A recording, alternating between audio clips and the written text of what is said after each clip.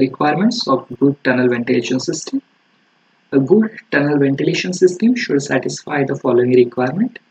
First, smoke and fumes should be exhausted as soon as possible from the working face so that work can be restarted without serious delay. Dust should be removed uh, within the permissible safe limits and should provide safe and comfortable working environment to the workers should prevent the hazardous fumes at a point along the length of the tunnel. These are the various requirements uh, for the good tunnel ventilation system. Tunnel ventilation. So what are the different types of tunnel ventilation? So um, broadly this tunnel ventilation is divided into uh, major five uh, types. So first one is uh, natural ventilation, next longitudinal ventilation, then semi-transverse transverse ventilation, in fully transverse ventilation, single point extraction and mechanical ventilation. Okay. So these are the uh, various types of ventilation. So uh, the two are the majors.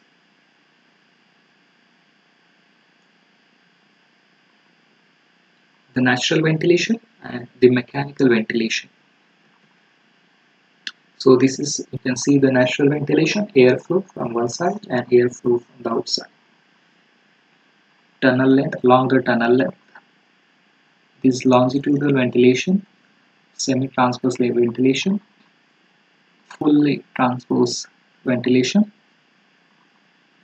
single point extraction and this you can see the fan used for ventilation. Then mechanical ventilation. Okay so mechanical ventilation we can achieve the mechanical ventilation. So based on IS code the blowing of fresh air inside the tunnel. So supply of the fresh air by the duct to the working face okay. So by providing fan and other uh, system we can provide a fresh air or blowing of fresh air inside the tunnel uh, by the duct to the working face next exhausting foul air by ducts. Foul air and dust are drawn into an ex, uh, exhausting, exhausting duct near the working faces, creating the flow of fresh air into the tunnel from the entrance and useful after blasting. Combination of blowing uh, in an exhauster system. This is the exhaust and blowing fan. So you can see from the one side we can provide uh, blowing and from the one side we can see the exhaust dust control.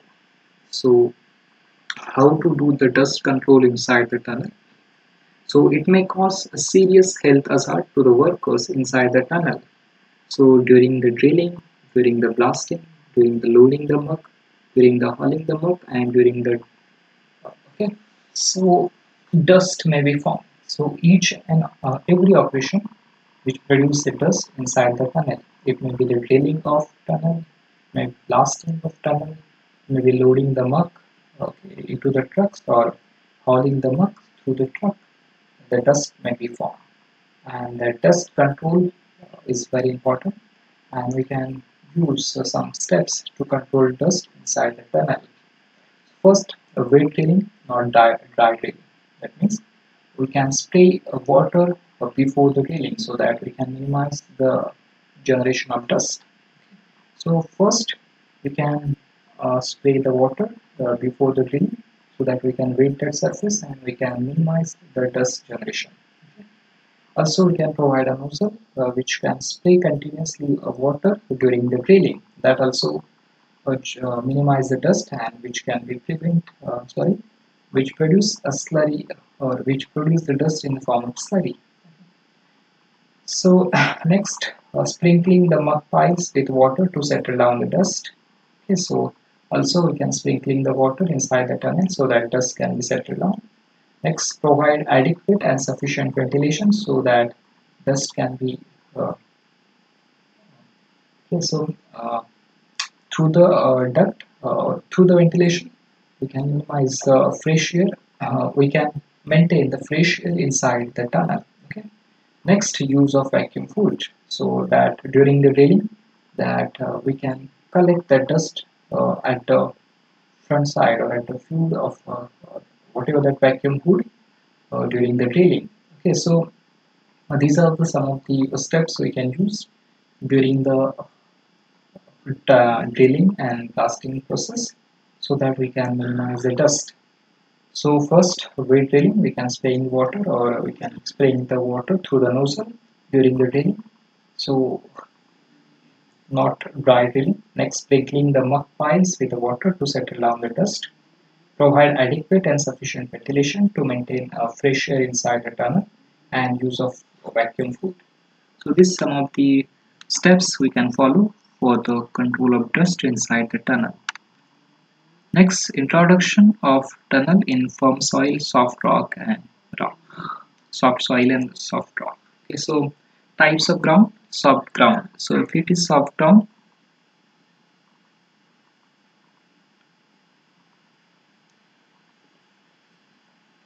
so if uh, the tunneling is done in soft ground so roof require instant support after doing excavation sidewall can remain standing without any support for the small duration of time okay so that means uh, instant support required because there are falling of uh, soft uh, falling of rocks inside the tunnel is uh, dangerous to the worker okay so uh, instant support during the excavation of the sidewall Next, firm ground. Roof can also remain unsupported for the few minutes and side can be remain without support for 1 to 2 hours. Next, running ground that is sand, gravel and other cohesion-less soil comes into the category of the ground. Next, self-supporting ground. These may be soft stone such as sandstone, cemented stone and mudstone. This ground can remain unsupported for a shorter length of 1.5 to 3.5 meters for a shorter period but after some after some time they require support main operations in tunneling what are the uh, main other operations in tunneling so construction of shafts then transferring the central line to the inside the tunnel then deciding the method of excavation setting up and drilling hole for the blasting loading the holes with the explosive and blasting then ventilation and removing dust after blasting providing support and strutting. Next uh, excavated material uh, carting excavated material outside the tunnel then pumping and removing groundwater from inside the tunnel and lining of tunnel. Okay so uh, these are the uh, various operations which carried out uh, or different steps which carried out in tunnel. So first uh, the, the, construction of shafts okay, which provided the entrance to the tunnel. Next, transferring the central line of the inside the tunnel. Next, deciding on the method of excavation. Either it is tunnel boring machines or either it is TBM method or either it is drilling and blasting method. So next, drilling hole for the blasting. Then after drilling a hole, uh, we can place the explosive like gunpowder or dynamite. Uh, so this type of uh, various explosive we can use for the blasting. So that is called as loading holes so loading holes with explosive and blasting so after that blasting we can remove the dust from the tunnel we can provide the ventilation so after uh, dust and ventilation we can provide support inside the tunnel okay then removing of uh, uh, whatever uh, the dust and muck which inside the tunnel to the outside then removing of groundwater from the inside the tunnel and finally tunnel lining by shotcreting or tunnel support and finally the final concrete surface. So these are various uh, means operations in tunneling. So tunneling in firm ground. So these are some of the methods which are used uh, to tunneling in firm ground like full face method, top heading and benching method and drift method. Okay, you can see what is full face method. So whatever uh, the full face of tunnel that can be excavated at a single time or uh, simultaneously okay so that is the full face method second you can see uh, the heading and benching method so you can see heading and benching method. Uh, so first uh, first, uh, first excavated ex excavation can be carried out at the top of the tunnel side and finally after top excavation benching that is the bottom excavation can be carried out. Okay so top and bottom that is called as heading and benching. So uh, this type of method are also used for the construction of tunnel. Next drift method. So only one part or small part can be first uh, excavated. And this type of various uh, drift can be uh, excavated uh, throughout the length of the tunnel and throughout the face of the tunnel. So that is called as drift. So this small square is showing the drift and that method is called as drift method. So either it may be side drift either it may be top or either it may be bottom or either it may be center drift. So you can see this is what the central drift where the drift uh, excavation can be carried out at the center bottom drift when the excavation can be carried out at the bottom of the tunnel uh, face top drift when at the top of the tunnel. And side drift uh, at the side of the tunnel face. So this type of uh, drift method also used uh, during the tunnel construction. Uh, that is central drift bottom drift top drift and uh, side drift uh, so this is multiple drift method. So this multiple drift can be constructed that is from the side bottom and top. Okay, so next tunneling in soft and running ground. So these are the various methods which are used uh, for the tunneling like uh, forepoling methods and which is tunneling in a soft ground. Next needle beam method then liner plate method then shield method that is the TBM method then compressor method English method Italian method army method Belgian method American method German method Austrian method and okay so these are various methods which are used uh, to tunneling of uh, tunneling in a running ground. So this uh, you can see the different methods. And this is called as needle beam method so where the needle beam in center of the drift. Okay, needle beam method. This is again needle beam method. Line of plates.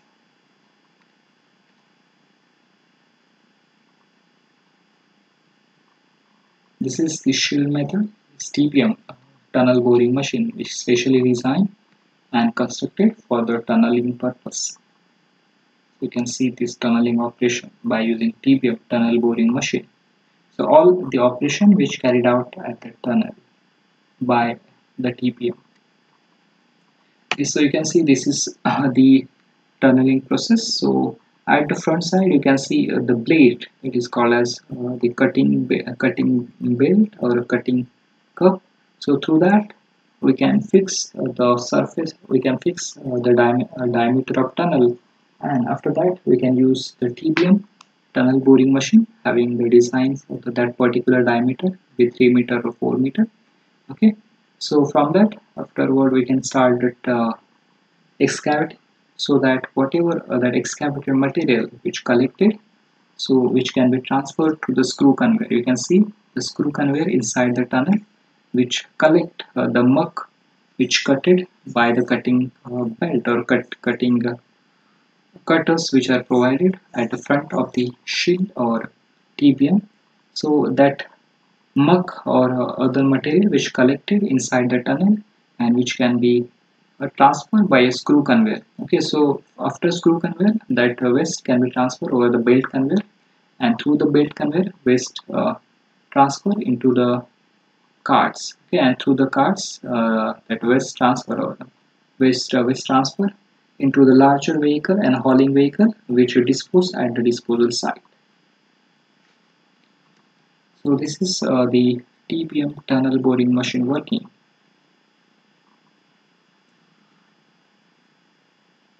So these are various methods of American method. This is various methods which are used uh, for the excavation of tunnel. Now the next uh, that is the tunneling in a hard rock. Okay, so this is one of the uh, major important point. Uh, so tunneling in hard rock in which we can use first full face method next heading and benching method so already discussed full face method it is totally uh, diameter of uh, a tunnel which can be uh, excavated next heading and benching in which heading at the top surface was excavated then bottom surface is excavated. In this way top and bottom is called as heading and benching next drift. So a small drift uh, the top side bottom side and side uh, it is called as drift method. Then pilot tunnel is a side tunnel which is used for the uh, access into the main tunnel and perimeter method. These are various important methods of tunneling which are used in hard rock so this is the full face method. That is uh, the portion of top is removed from that is excavated up to its full face. Tunnel is excavated up to the full face. Next top heading and benching.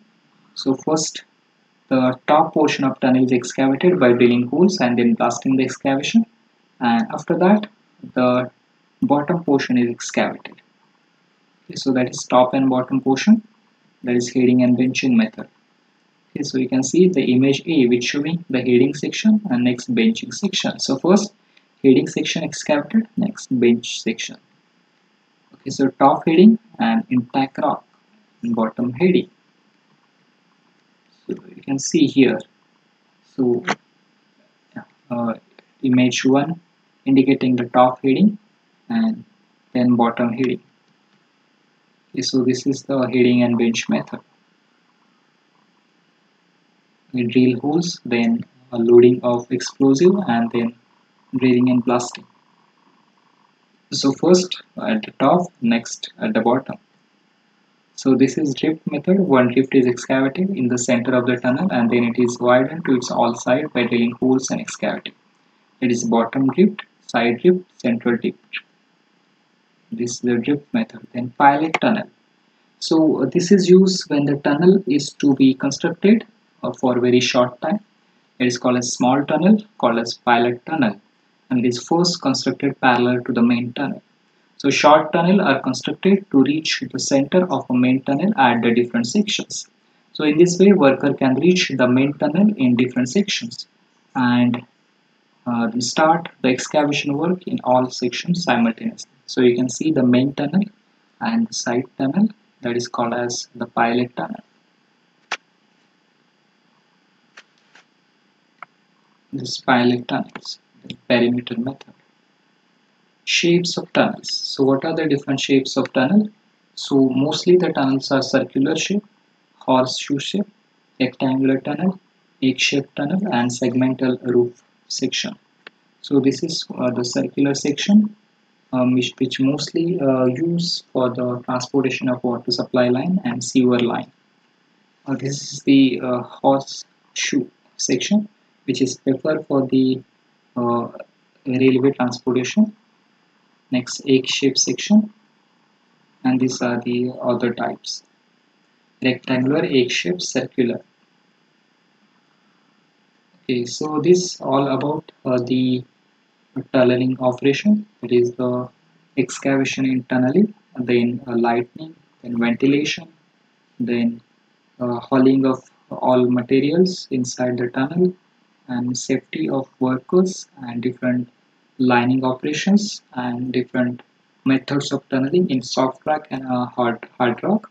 Then different material used for tunneling different equipment used for tunneling and the different shapes of tunnel used uh, in the tunneling operation